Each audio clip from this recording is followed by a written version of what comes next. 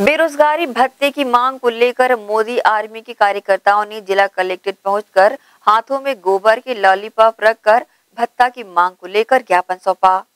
बेरोजगारी भत्ते की मांग को लेकर मोदी आर्मी ने जिला कलेक्टर को ज्ञापन सौंपा। इस दौरान मोदी आर्मी के सदस्यों ने हाथों में गोबर के लॉलीपॉप भी रखे। इस अवसर पर मोदी आर्मी के सदस्यों ने कांग्रेस सरकार ने सत्ता में आने से पूर्व रोज़गार देने का वादा प्रदेश के तमाम युवाओं से किया था।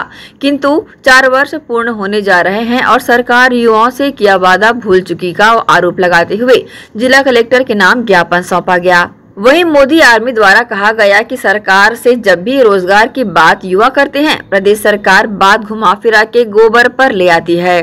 बेरोजगारी भत्ते का झूठा लॉलीपॉप देकर युवाओं को छलने का कार्य प्रदेश सरकार ने किया है। और संगठन द्वारा गोबर से लॉलीपॉप बनाकर प्रदर्शन करने की बातें उन्होंने कही। न्यूज़ के लिए दुर्ग से नसीम फारूकी की रिपोर्ट।